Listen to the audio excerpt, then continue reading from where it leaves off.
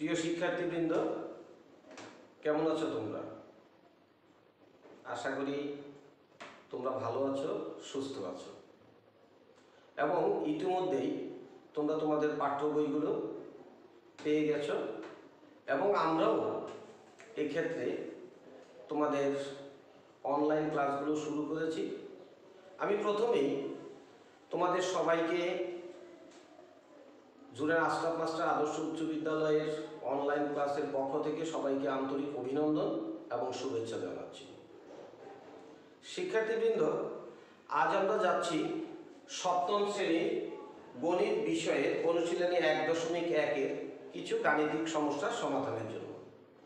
আমি এর পূর্বে তোমাদের আরও দু দুটি ক্লাস করেছিলাম। নিশ্চয়ই তোমাদের মনে আছে, তোমরা যারা এই অনলাইন ক্লাসগুলো দেখেছ। সেক্ষেত্রে আমরা বলেছিলাম, বর্গ কি? বর্গমূল কি? মৌলিক গুণনীয়কের সাহায্যে কীভাবে বর্গমূল নির্ণয় করা হয়? ভাগ প্রক্রিয়ার সাহায্যে কীভাবে বর্গমূল নির্ণয় করা হয়?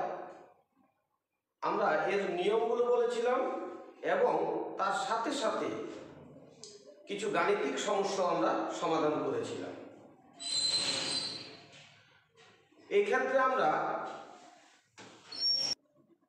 পূর্বের সেই বিষয়গুলোকে একটু মাথায় রেখেই আমরা আমাদের পরবর্তী পাঠে যাচ্ছি। শিক্ষার্থীবৃন্দ, আজ আমরা কিছু গাণিতিক সমস্যার সমাধান করব। নিশ্চয়ই তোমাদের কাছে তোমাদের পাঠ্য বইটি উপস্থাপন করা হয়েছে। আমরা পাঠ্য বইয়ের আলোকে আজকে কিছু গাণিতিক সমস্যা সমাধান করার চেষ্টা করব। প্রিয় শিক্ষার্থীবৃন্দ, আমরা প্রথমে গাণিতিক সমস্যা সমাধানের আগে আমরা কিছু নিয়ম বা পদ্ধতি সম্পর্কে আলোচনা করি। সেটি হচ্ছে যে কোনো একটি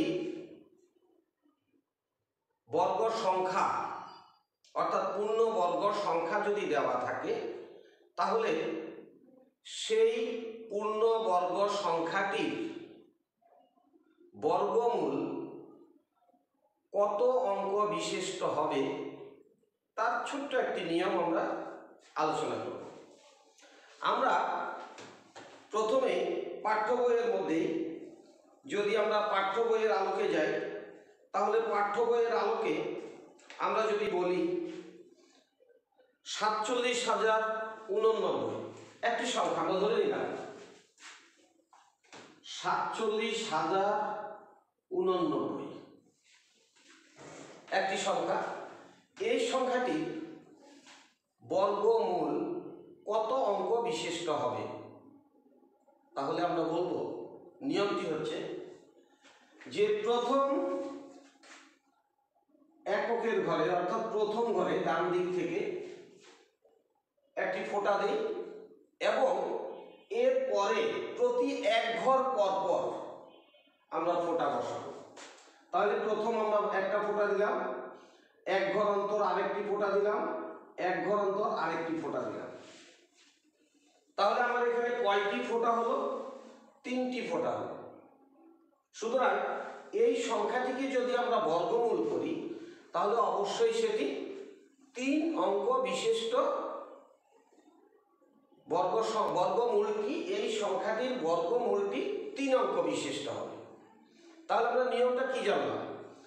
প্রথম ঘর থেকে শুরু করে প্রথম ডান দিকের প্রথম ঘর থেকে শুরু করে এক ঘর পর পর যদি আমরা ফোঁটা ব্যবহার করি, যতটি ফোঁটা হবে, ঠিক ওই সংখ্যাটি বর্গমূল তত অঙ্ক বিশিষ্ট হবে।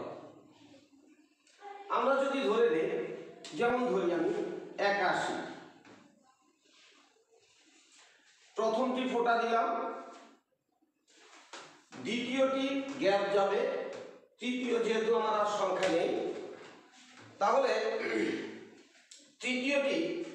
যেহেতু তৃতীয় সংখ্যা নেই, সুতরাং এখানে একটি ফোঁটা আছে, তাহলে এটা এক অঙ্ক বিশিষ্ট হবে। তাহলে নিশ্চয়ই আমরা বুঝতে পারলাম যে যদি কখনো তোমাকে প্রশ্ন করা হয় একটা বর্গ সংখ্যা দিয়ে যে এটি কয় অঙ্ক বিশিষ্ট, এর বর্গমূল কয় অঙ্ক বিশিষ্ট, তাহলে আমরা উত্তরটা ঠিক এভাবে করব। প্রথমেই ডান দিকে একক স্থানীয় অঙ্কে একটি ফোঁটা ব্যবহার করব, এরপরে প্রতি এক ঘর পর পর ফোঁটা ব্যবহার করব। যতটি ফোঁটা পড়বে বা হবে, ঠিক ওই সংখ্যাটির বর্গমূল তত অঙ্ক বিশিষ্ট হবে। এবার আমরা চলে যাব পরবর্তী।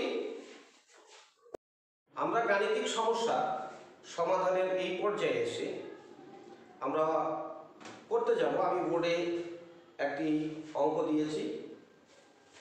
একুশ হাজার নয়শো বাহান্ন। একুশ হাজার নয়শো বাহান্নকে কোন ক্ষুদ্রতম সংখ্যা দ্বারা ভাগ করলে ভাগফল পূর্ণবর্গ সংখ্যা হবে? আমি আবার বলছি, এটুকু আমার একটু অতিরিক্ত হয়েছে। একুশ হাজার নয়শো বাহান্নকে কোন ক্ষুদ্রতম সংখ্যা দ্বারা ভাগ করলে ভাগফল একটি পূর্ণবর্গ সংখ্যা হবে? শিক্ষার্থীবৃন্দ, তাহলে এটি আমরা চেষ্টা করব মৌলিক গুণনীয়কের সাহায্যে এগুলোকে সমাধান করতে। তাহলে আমরা মৌলিক গুণনীয়ক নিশ্চয় পদ্ধতিটি আমাদের মনে আছে, আমরা সমস্যাটি একটু সমাধান করার চেষ্টা করি। আমার সংখ্যাটি হচ্ছে একুশ হাজার নয়শো বাহান্ন।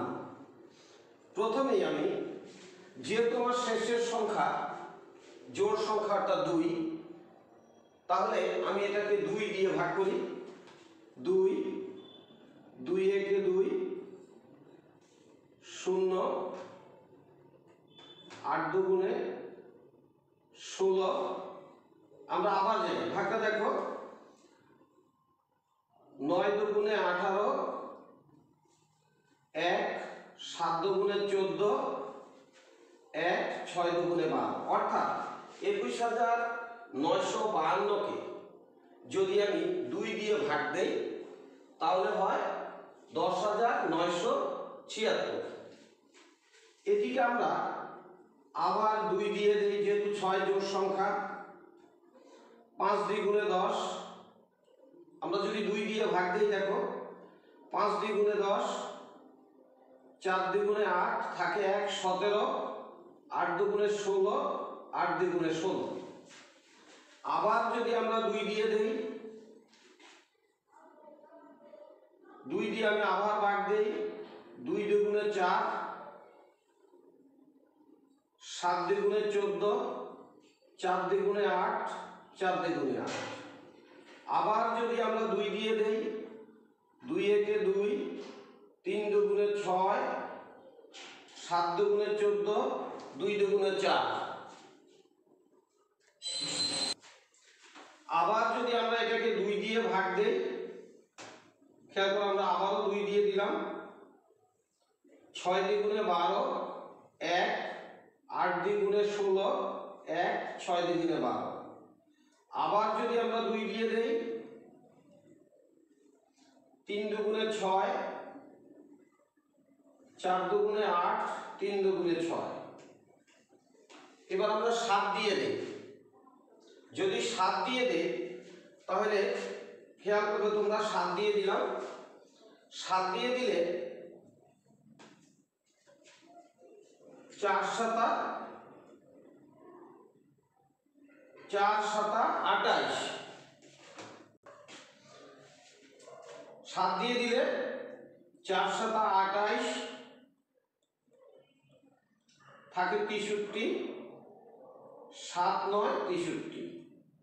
সর্বশেষ সাত দিয়ে দিলে সাত শতা উনপঞ্চাশ শিক্ষার্থী বন্ধুরা, আমরা তাহলে এই যে সংখ্যাটি পেলাম, এই সংখ্যাটিকে এবার আমরা মৌলিক গুণনীয়কের সাহায্যে উৎপাদক বিশ্লেষণ করে দেখব এখানে কোন সংখ্যাটি বেশি বা কম হয়। তাহলে এবার দেখো, আমরা সংখ্যাটি এখানে কি পেলাম? আমরা একটু সাইড ব্যবহার করি। দুই হাজার একুশ হাজার নয়শো বাহান্ন। সমান সমান। এক, দুই, তিন, চার, পাঁচ ছয়টি দুই আমি সংখ্যাগুলো এখানে লিখি। এক, দুই, তিন, চার, পাঁচ, ছয়। ছয়টি দুই পেলাম। এক, দুই, তিন। তিনটি সাত পেলাম। সাত, গুণ সাত গুণ সাত। তাহলে শিক্ষার্থীবৃন্দ, আমরা মৌলিক গুণনীতির সময় বলেছিলাম যে প্রতি জোড়া থেকে একটি করে আমরা সংখ্যা নেব। তাহলে তোমাদেরকে ভাগ অথবা গুণ প্রক্রিয়া, অর্থাৎ এতকে কোন ক্ষুদ্রতম সংখ্যা দ্বারা ভাগ করলে ভাগফল একটি পূর্ণবর্গ সংখ্যা হবে। ঠিক আমার এখানে যে মৌলিক গুণনীয়কগুলো আছে, এই মৌলিক গুণনীয়কগুলোর মধ্যে যদি কোনো সংখ্যা বা কোনো অঙ্ক জোড়াবিহীন হয়, তাহলে ওই সংখ্যাটির ভাগফলের সাথে গুণ করলেই গুণফল পূর্ণবর্গ সংখ্যা হবে তাহলে এবার দেখো আমার এখানে দুই এক জোড়া দুই জোড়া, তিন জোড়া। অর্থাৎ দুই তিন জোড়া আছে, ছয়টি দুই আছে, অর্থাৎ তিন জোড়া আছে, সুতরাং আমার এখানে অতিরিক্ত দুই নেই। আবার সাত আছে, এক জোড়া, কিন্তু একটি সাত বেশি আছে। অর্থাৎ এই সাতটি আমার জোড়াবিহীন। তাহলে আমরা কি বুঝলাম? যে জোড়াবিহীন যদি কোনো অঙ্ক বা সংখ্যা থাকে তাহলে ওই অঙ্ক বা সংখ্যা দ্বারা গুণ করলে, ভাগফলকে গুণ করলে গুণফল একটি পূর্ণবর্গ সংখ্যা হবে। তাহলে আমরা লিখব, এখানে এখানে সাত জোড়া বিহীন। এখানে সাতটা কি? জোড়াবিহীন অতএব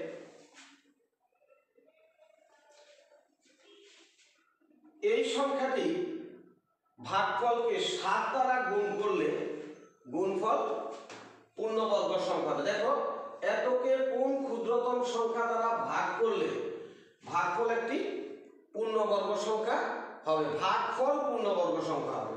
তাই যে এতকে সাত দ্বারা গুণ করলে, এতকে দুঃখিত, এতকে সাত দ্বারা ভাগ করলে, এতকে অর্থাৎ একুশ হাজার নয়শো বাহান্নকে সাত দ্বারা ভাগ করলে ভাগফল একটি পূর্ণবর্গ সংখ্যা হবে। আমি আবার বলছি, আমার প্রশ্ন বলেছে, একুশ হাজার নয়শো বাহান্নকে কোন ক্ষুদ্রতম সংখ্যা দ্বারা ভাগ করলে ভাগফল একটি পূর্ণবর্গ সংখ্যা হবে? তা পেলাম এখানে, মৌলিক গুণনীয়কের সাহায্যে আমরা উৎপাদক করলে পেলাম যে এখানে সাত একটি সাত বেশি আছে, অর্থাৎ একটি সাত জোড়াবিহীন। আর এই জন্যে আমাদের পদ্ধতিটি হচ্ছে, যেই অঙ্ক বা সংখ্যাটি জোড়াবিহীন, ওই অঙ্ক বা সংখ্যাটি দ্বারা এই সংখ্যাকে, অর্থাৎ একুশ হাজার নয়শো বাহান্নকে ভাগ করলে ভাগ ভাগফল একটি পূর্ণবর্গ সংখ্যা হবে। ঠিক গুণের বেলায় একইভাবে প্রযোজ্য, ভাগ যে পদ্ধতিতে প্রযোজ্য গুণের বেলায় একই পদ্ধতিতে প্রযোজ্য। আমি যদি বলতাম যে একুশ হাজার নয়শো বাহান্নকে কোন ক্ষুদ্রতম সংখ্যা দ্বারা ভাগ করে না বলে আমি যদি বলতাম গুণ করে, এখানে কি বলব? গুণ করলে এখানে ভাগফল না বলে আমি বলব গুণফল। খেয়াল করবে, একুশ হাজার নয়শো বাহান্নকে কোন ক্ষুদ্রতম সংখ্যা দ্বারা গুণ করলে গুণফল একটি পূর্ণবর্গ সংখ্যা হবে। ঠিক একইভাবে আমি বলতাম যে এভাবেই আমার পদ্ধতিটি একইভাবে হবে এবং সেক্ষেত্রে আমার জোড়াবিহীন হচ্ছে কত? সাত। অর্থাৎ একুশ হাজার নয়শো বাহান্নকে সাত দ্বারা গুণ করলে যে গুণফলটি হবে, সেই সংখ্যাটি একটি পূর্ণবর্গ সংখ্যা হবে। তাহলে আমাদের ভাগ এবং গুণ পদ্ধতি একই। জোড়াবিহীন যেটি সেটি দ্বারা ভাগ করলে, অথবা জোড়াবিহীন যেটি, সেটি দ্বারা গুণ করলে ভাগফল অথবা গুণফল একটি পূর্ণবর্গ সংখ্যা হবে। তোমাদের ধন্যবাদ সবাইকে। আশা করি তোমরা বুঝতে পেরেছ এবং তোমাদের পাঠ্য বইয়ের মধ্যে যে অঙ্কগুলো দেওয়া আছে, তোমাদের অর্থাৎ পাঠ্য বইয়ের এক দশমিক একের তোমাদের বইয়ে তিন এবং চার যে অঙ্কগুলো দেওয়া আছে, সেই অঙ্কগুলো তোমরা বাসায় সমাধান করে নেবে। চেষ্টা করবে, আমি আশা করি ইনশাল্লাহ তোমরা সেগুলো পারবে। যদি নিয়মগুলো তোমরা অনুসরণ করো।